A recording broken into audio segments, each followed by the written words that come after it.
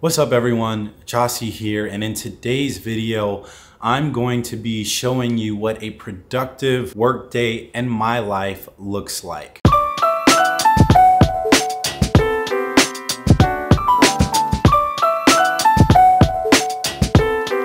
But before we continue this video, I wanna thank Western Digital for sponsoring this video. I'm actually really happy to be working with Western Digital because I've been using their external hard drive for multiple years now. So I have most of my video content saved onto my external hard drive. So it's always good to work with a brand whose products you already use.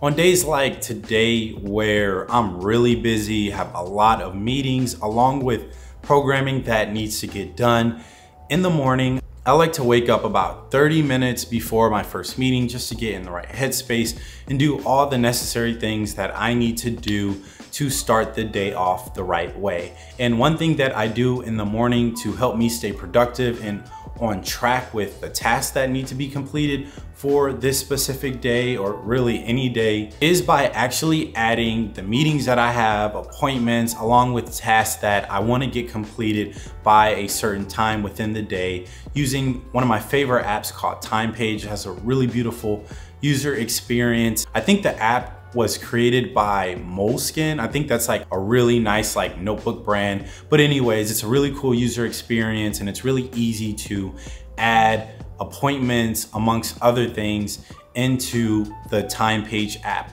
You have like location that you can add, URLs for like Zoom links, along with like being able to, you know, repeat whatever task or meeting that is if it's something that needs to be repeated. So that's the first thing that I like to do in the morning. I'm really excited to talk about Western Digital and their WD Blue SN550 NVMe solid state drive. I've made a lot of laptop videos and I get a lot of questions about, hey, what type of laptop should I get as a software developer or software engineer. And I typically recommend laptops based on three performance categories, which is memory, of course, storage, if a laptop doesn't have SSD, it's a deal breaker. And then of course, graphics as a content creator. I know that some of you all are probably thinking, hey, isn't website development and programming more software related? Well, here's the thing, you can't have software without hardware. Well, for one, high processing speed is essential for web development and mobile development. As a software developer, I know for a fact that installing packages, building solutions, and handling large code bases can take up a lot of space. And the last thing that you want is system lag when you're trying to build or run a solution. But here's the thing about NVMe SSD, it gives your PC a substantial power boost. For one, NVMe SSD is a cost-effective storage system that adds reliability to the solid-state drive. With NVMe, build a powerful small form PC with a slim single-sided M.2 2280 PCIe Gen 3 X4 NVMe solid-state drive. You can also do more with less with its scalable hardware, accelerated architecture for high performance and low power draw. And I mean, look at how small this solid state drive is. It's literally the size of my chapstick. Also, not to forget that Western Digital designed controller and firmware paired with the latest 3D NAND for optimized and consistent performance.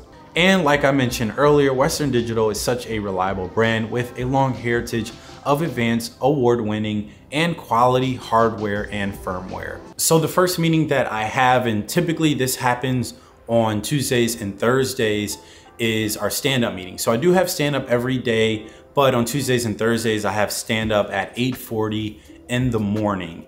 And what's really nice about having stand-up is that you get a chance to talk with your team members about your progress on projects, if you have any stumbling blocks, and what projects you plan on tackling for the day. This also helps me stay productive because it keeps me accountable to my team members. All right, so after having that first stand up meeting, one other thing that I noticed that keeps me productive, along with keeping track of all the projects that I have, along with the progress that is being made, whether it's you know other business areas giving me assets that I need to complete whatever web development task that I have. So actually going through my Outlook and reading through emails is it sounds really simple, but as a developer, you get really caught up in the weeds of programming and sometimes ignore emails, but it's actually best to go through those emails, especially when other business areas rely on you to complete projects. So I know that I feel a lot better knowing what's going on within the other business areas because sometimes there's like stumbling blocks with getting things approved along with, you know, maybe pushing dates back or just asking for the overall progress. Another way that I like to stay productive after reading through my emails is tackling the first programming task. But before I get to that point, I usually like to like run my code and see what I actually worked on. I'm a visual learner and when you're context switching, let's say I didn't get a chance to program as much yesterday on this project because I worked on something else or had a lot of meetings, it's great to like visually see what I built and then I'll go through like my OneNote and go through the tasks that I actually need to complete for that day. One recommendation that I have for anybody, whether they're a programmer or not, is to use a Pomodoro timer. I typically work in like 45 minute increments and then I step away for 15 minutes, especially when I have a lot of programming to do. I recently downloaded this Pomodoro timer app. That's been a great integration into my system because I typically would just go to like Google and type in 45 minute timer and then play lo-fi music in the background. So with this app, it's made it a lot easier for me to uh, start my task by just opening up the app and selecting a 45 minute work session. You can do 25 minute, you do whatever increment you want. So for those of you all who've been following my channel like the past year, you know that making coffee has been a huge part of my morning routine and kind of daily routine. So making coffee or tea breaks up my morning. It really energizes me and inspires me. However, I've actually been drinking less coffee recently, so I'm not so reliant on something that keeps me productive and motivated, and I've been drinking a lot more tea. Nevertheless, for the sake of this video, I wanna give you some really nice coffee making B-roll. So now I'm actually about to meet up with one of my best friends and we're gonna go to a coffee shop. Um, it's one of my favorite places to shoot like B-roll and we're just gonna talk for a little bit. I think I'm just gonna grab a smoothie, but uh, yeah, just it's, it's hot outside. I want a smoothie. I wanna get out of the apartment and enjoy this really nice weather.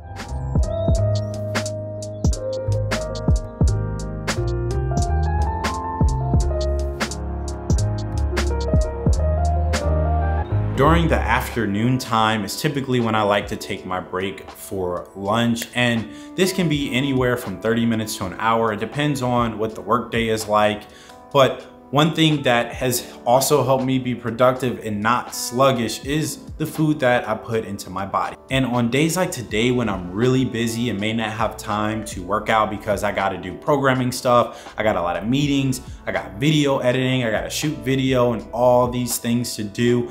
I may not have time to work out or work out as long as I'd like to. So one thing to kind of fill that void is to eat healthy. so I'm gonna be making some salmon, not just by myself. My wife and I are gonna kind of make this together. It's gonna be mostly her because she's a way better cook than me. So today has been really busy. Um, I hope this video is helpful. There's really no equation to productivity. This is just me showing you what steps I make to be productive. But for the rest of the day, I have more meetings, like meetings on top of meetings on top of meetings. So it's kind of hard not to be productive with meetings because I literally don't have time to be distracted because I have to be in the meeting. But after my meetings around 3.30, 3.45, I'm gonna spend the rest of the day coding and using my Pomodoro timer to keep me focused and also not to burn myself out. I hope this video was helpful. I didn't wanna make it too long. I just wanted to give you like a quick short version of how I stay productive. It seems like you all like these kind of like lifestyle, productivity, routine kind of videos, which really makes me excited because I can add a little bit more creativity to those videos opposed to like the software engineering stuff. So be sure to give this video a thumbs up. It helps out with the algorithm a lot. Comment down below your morning routine or how you stay productive and some apps that you use. I love engaging with you all in the comment section and it lets me know if you like the video. If you haven't already, subscribe to the channel. I love for you all to become a part of this amazing community. And as always, have a blessed rest of your week. Once again, thank you to Western Digital for sponsoring this video. Peace!